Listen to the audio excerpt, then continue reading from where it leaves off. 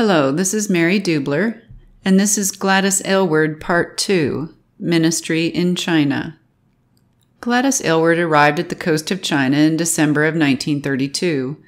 She was to work with Mrs. Jeannie Lawson, a missionary who had spent most of her life in China with her husband, then as a widow, in the city of Yangcheng. Mrs. Lawson sent a man to accompany Gladys on the 10 day trip by train, bus, and mule litter across three mountain ranges and numerous rivers. When Gladys arrived at her new home, Mrs. Lawson provided her with the quilted trousers and jackets of the country women, saying that we want to be as Chinese as possible, and their clothes are much more sensible than ours anyway. Jeannie Lawson had purchased a dilapidated roadside inn, and her dream was that the Inn of the Eight Happinesses would become an overnight stopping place for muleteers. Each evening, when the men had been fed and were resting, she would tell them stories from the Bible.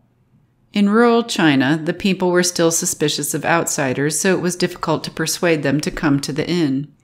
Gladys's first missionary assignment was to stand outside the gate calling out the Chinese words the cook had taught her. We have no bugs. We have no fleas. Good, good, good. Come, come, come. If the drivers still wouldn't turn in through the gate, then Gladys would grab the bridle of the lead mule, forcing them to turn. Wherever the lead mule went, the rest would follow, and as it would be too difficult to get the train going again, there they would stay for the night. Since Jeannie Lawson and the cook could speak Chinese, they were the ones who sat by the fire to tell the muleteers stories from the scriptures. This left Gladys out with the mules to feed them and scrape off the day's mud. This provided good incentive for her to learn Chinese. When she was not caring for the mules, she spent time in the village listening and trying to speak. She wrote, The language is very difficult, but I am a good mimic, and so am picking up little bits without study. By the end of a year, Gladys could make herself understood in Chinese, and she had several stories she could tell. This from a woman who had been told she likely could never learn the language. Gladys perhaps could have scoffed at the mission board who had rejected her, but many years later she wrote, Looking back, I cannot blame them. I know, if no one else does, how stupid I must have seemed then. The fact that I learned not only to speak, but also to read and write the Chinese language like a native in later years is to me one of God's great miracles. Only a year after Gladys arrived, Mrs. Lawson died. Gladys continued at the inn, held services regularly, visited houses, and gave what medical aid she could. As her Chinese improved, she began to speak in the marketplaces with a Chinese evangelist.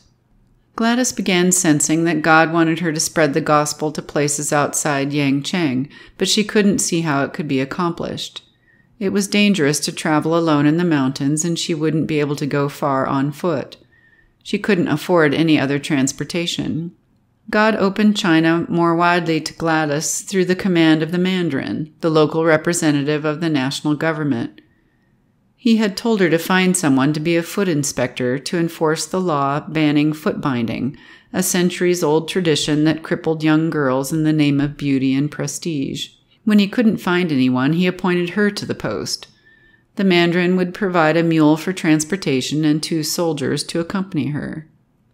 The mandarin's appointment gave her authority to enter every home and every village in the province. Not only would she inspect feet, but she told the mandarin she would use this opportunity to preach the good news of Jesus.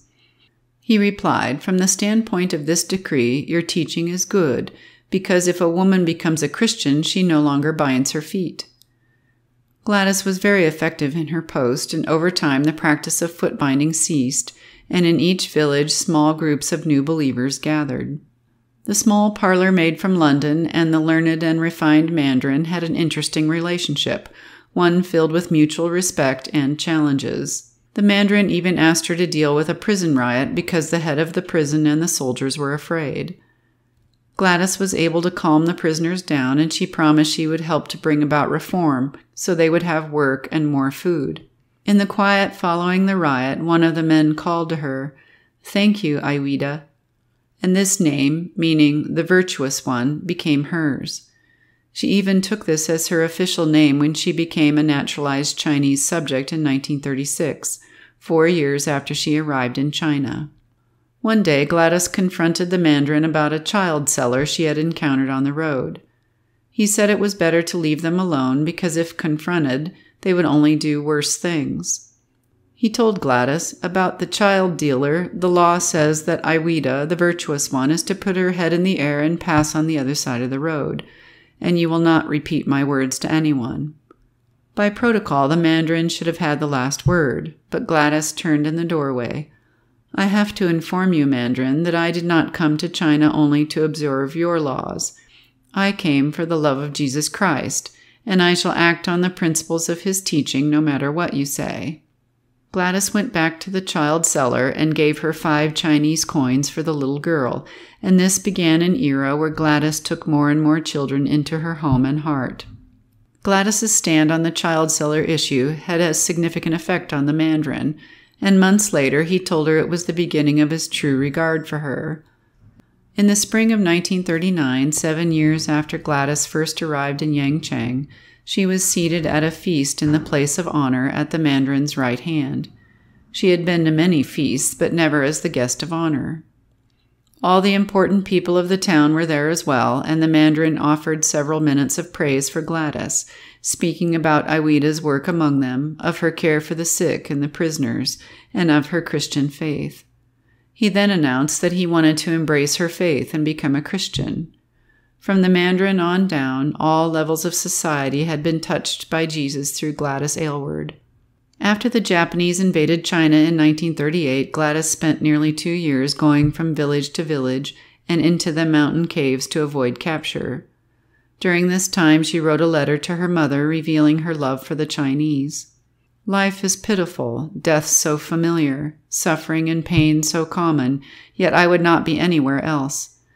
Do not wish me out of this or in any way seek to get me out, for I will not be got out while this trial is on. These are my people. God has given them to me, and I will live or die with them for Him and His glory.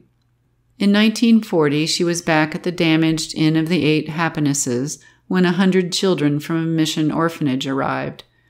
She knew the Japanese would soon come back to Yangcheng, so she led the children on a 16 day journey to refuge in Fufeng. During the trip, she became sick with typhus. It took her many weeks to recuperate. When she did recover, she moved to Lanchow and then to Chengdu, teaching new Christians and serving in the Chinese church. In 1949, Gladys returned to England and remained there for several years. However, she yearned for China.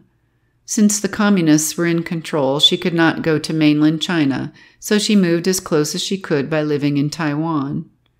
There, God led her into ministry with orphans and there she died New Year's Day, 1970, at the age of 68. This is Mary Dubler, and I hope you've enjoyed the story of Gladys Aylward, missionary to China. If you would like to read more of Gladys's story, there are two good references I can recommend. One is called The Little Woman by Gladys Aylward and Christine Hunter. The second is Faithful Women and Their Extraordinary God by Noel Piper. Thanks for listening.